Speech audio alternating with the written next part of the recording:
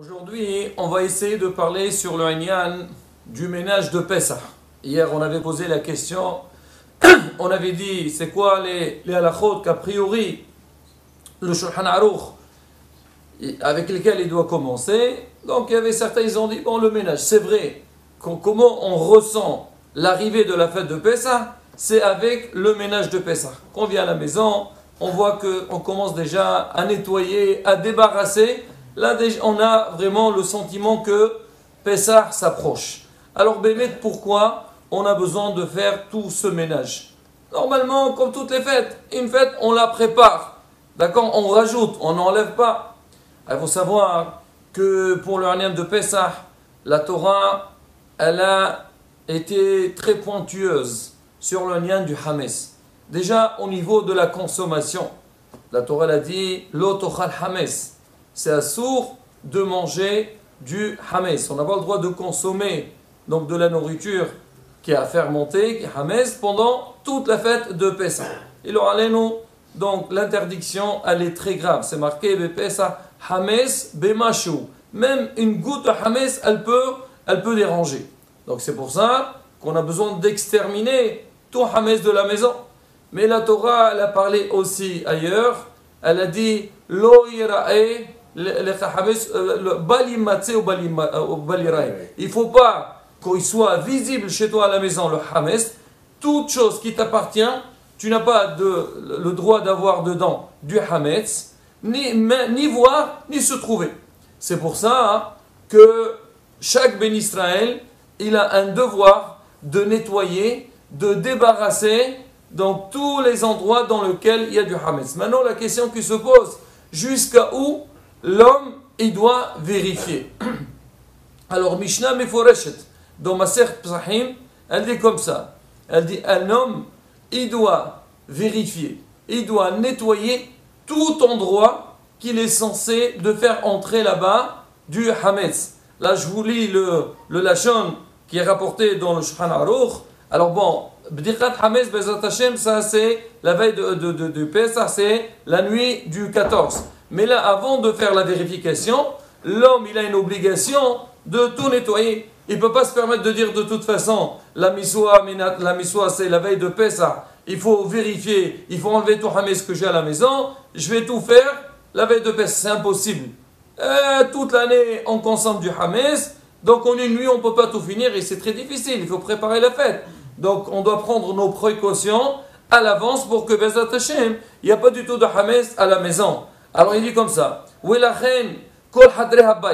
tous les chambres de la maison, les rabot amir pasot, même les balcons, mahsanim, c'est quelqu'un il a une cave. Alors cela, on doit aussi les vérifier, on doit les nettoyer et les vérifier. Alors maintenant, dans la maison, il y a aussi d'autres endroits dans lesquels on peut cacher du hames, des armoires.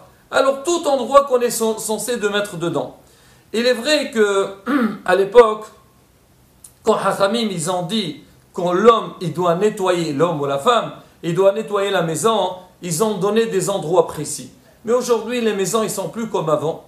Avant, c'est vrai qu'il y a des endroits quand le hames ne pénètre pas du tout là-bas. Alors si Béhémet, c'est des endroits où on ne met pas de hames, il n'y a aucune obligation de vérifier. C'est marqué les endroits qui sont en hauteur. Et des fois on met dedans, je ne sais pas moi, des valises ou des affaires. Et avant de les mettre on les vérifie, on sait qu'il n'y a pas du tout de Hametz là-bas, hein. alors il n'y a pas d'obligation de, de, nettoyer là-bas ou de vérifier. Tu veux faire un coup de propre à la maison, ça c'est ton droit.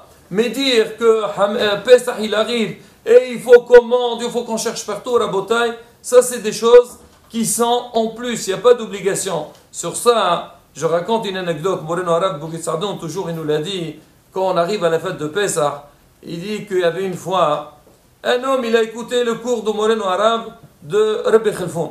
Il rentre à la maison, il voit sa femme, elle fait le ménage de Pessah. On sait c'est quoi le ménage de Pessah? Euh, bon, d'accord, il y a du travail. Mais le problème, c'est que sa femme, elle ne s'arrêtait pas seulement à vérifier, à nettoyer les endroits où il y a le Hames, mais partout, il y avait des endroits en hauteur, on l'appelait Shidda. Donc c'était en hauteur. La femme, elle montait là-bas, elle commence à enlever. Il lui dit Qu'est-ce que tu fais? Il dit Dis-moi, qu'est-ce que tu fais Tu sais pas? Maintenant, c'est la fête de Pessah. Il faut tout vérifier. Il a dit, je viens d'écouter Moren Arav Il a dit que les endroits qu'on ne met pas en général du Hames là-bas, on n'a pas besoin de les vérifier, de les nettoyer. Et il lui a dit, Rabbi Khalfoun, Shlam, on le connaît, c'est un Kadosh. Mais dans les halachot de Pessah, il ne connaît pas grand-chose. Ça, c'est l'histoire des femmes. c'est une réponse très réelle. Aujourd'hui, malheureusement, il est bon à dire aux gens, vous savez, l'obligation de vérifier, c'est dans les endroits où on est censé te faire entrer. C'est vrai aujourd'hui, avec les maisons qu'on a, c'est vrai que, en général, il n'y a pas d'endroit où on ne peut pas trouver du Hames. Déjà, euh, on consomme, on tourne et tout, et aussi de avec les enfants, donc des fois ils traînent, donc il y a une obligation de chercher et de vérifier.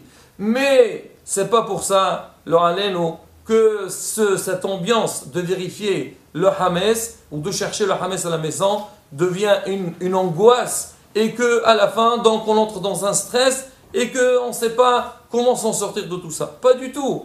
C'est marqué, bien sûr, l'homme, il doit faire ce qu'il faut faire. L'homme, il doit veiller à tout vérifier, à tout chercher, mais tout dans le calme. Alors on dit, regardez, je vais rapporter une halakha. C'est une halakha que, c'est vrai que nous, dans le passé, je sais avant Tunisie, au Maroc et tout, c'était pratiquement chez tout le monde. On sait qu'avant la fête de Pessah, alors il n'y avait pas seulement le ménage de Pessah, mais aussi on sait que partout, on fait la peinture à la maison. Tout le monde, pourquoi? On donnait un coup de propre à la maison, et en même temps, parce que les gens, ils avaient peur, ils disent peut-être sur les murs, il y avait du Hametz, vichoulé, vichoulé. Regardez Rabotai, ça c'est marqué dans l'Alacha. Shulchan Aruch, Siman Tau Membet, Halacha Waw. Nahagu legarer aktalim, aktalim, kisaot, shenaga bahem hames. Il y a des gens qui avaient l'habitude, des femmes je veux dire, ils avaient l'habitude de gratter donc les murs, les chaises et les endroits dans lesquels le hames il a été en contact. Oui, il dit Shulchan ils ont sur quoi compter, c'est pas des bêtises. Oui, après il dit s'il y a des fonds, il y a Hames à l'intérieur, il faut le gratter, l'enlever, mais si on ne peut pas, donc il ira, il met un petit peu donc debout dessus, ou bien il le, cache, et donc il fait le bitoul, ça marche. Alors regardez ce qu'il dit le Mishnah Alors il dit Pourquoi il dit ils ont sur quoi compter? Ah, On a utilisé le Hames, alors il faut, il faut enlever. Il dit Lomar, il ne faut pas se moquer de ce minhag-là. L'Omar, c'est un minhag de folie. Et c'est une humra, c'est quelque chose, on va dire, en plus. Mais il dit ça, il y a un semer sur ça, c'est basé, c'est marqué dans les livres. Bon, d'accord. Maintenant, regardez ce qu'il dit sur ça. Les murs de nos maisons d'aujourd'hui, Aujourd'hui, nos murs, ils sont propres. Rabotai, avant, pour celui qui se rappelle, alors sur les murs, on sait, c'était pas le mur, il était utilisé aussi je veux pas dire en tant qu'un décor, mais là, des fois avant on faisait le qaddid, la viande, alors on la mettait au qaddid, on le mettait, mettait sur les murs pour sécher. Des fois les gens ils n'avaient pas, avant il n'y avait pas le frigo, alors les gens ils ont peur que le manger s'abîme, qu'est-ce qu'ils font? Ils font un trou sur le mur et ils attachent là-bas de la nourriture. Ça, veut dire quoi? Ça veut dire que les murs avant, ils étaient en contact avec, avec la nourriture. Donc puisqu'ils étaient, en, ils étaient en contact avec la nourriture, ça peut se comprendre qu'il y a lieu de, de nettoyer, d'enlever tout le hametz qu'il y a dedans. Mais aujourd'hui, Baruch Hashem, donc nos murs ils sont propres, il dit, alors il dit, il dit aujourd'hui, il n'y a pas vraiment d'obligation de le faire, et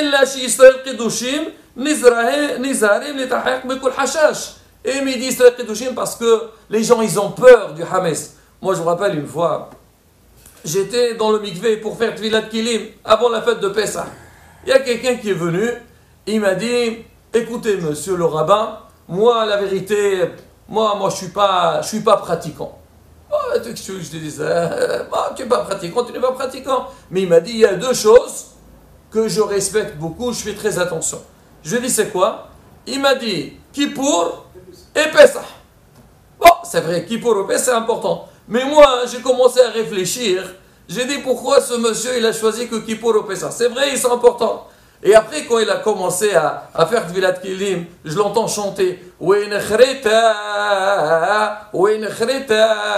Ça veut dire quoi? Parce qu'il sait que dans Pessah, celui qui mange du Hames, c'est Karet, le Et c'est pareil aussi, c'est quelqu'un, il respecte pas qui pour Karet, il a peur. Il a dit c'est de là, alors je fais attention et je le respecte. S'il a vu la suite, il y a, pas mal, il y a d'autres aussi, mitzvot, que le aussi, on ne les respecte pas c'est grave aussi. Mais quoi qu'il arrive, les gens, ils ont peur de, ils ont peur de Pessah. Alors c'est ce qu'il dit. Il dit Israël Kedoshim, Nizarim Hashash. Il, s'éloigne de tout risque qu'il y a du Hames. Mais il continue. Au Mekol Makom, En Sarich Yeter Alamida. Mais il ne faut pas abuser. Aujourd'hui, il ne faut pas entrer dans une angoisse. C'est vrai que de voir malheureusement, parce que c'est vrai, on a grandi dans ça, alors on a du mal, on a du mal un petit peu à détourner un peu cette ambiance. C'est sûr qu'il faut faire. Et c'est pas mon sarbota. Il faut savoir une chose. C'est marqué Sha'are Teshuva Lonin Aujourd'hui, il y a beaucoup de sha'arim. Mais malheureusement, dès qu'il y a beaucoup de portes, ils sont fermés aujourd'hui. À cause de la galoute, à cause de nos péchés. Mais il y a certaines portes qu'elles sont ouvertes.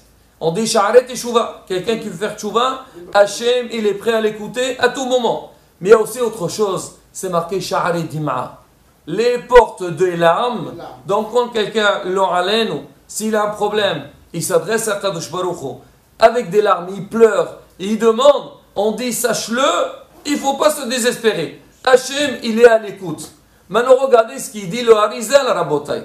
Le Harizal, il dit, et c'est rapporté aussi dans la Lacha. Le Harizal, il parle pour l'anien de la massa. Il dit quand quelqu'un il travaille la massa, il transpire. C'est normal. La massa, il faut vraiment s'efforcer, bien travailler dessus. Il dit que toute la transpiration qu'on a pour faire la massa, Hachem, il les considère comme des larmes. Et pour dire que quoi? Que on a un grand, un grand mérite derrière ça. On dit c'est pareil aussi. Quand quelqu'un il court pour faire une, pour faire une mitzvah, alors on dit que quand tu transpires, Hachem il considère comme si c'est des larmes. Alors à plus forte raison pour les dames que avant Pessah, elles prennent leur temps pour préparer. Elles essaient de tout faire pour que Bezrat Hachem, il n'y a aucun hachage de Hames à la maison. C'est sûr qu'elles ont un très très très grand mérite.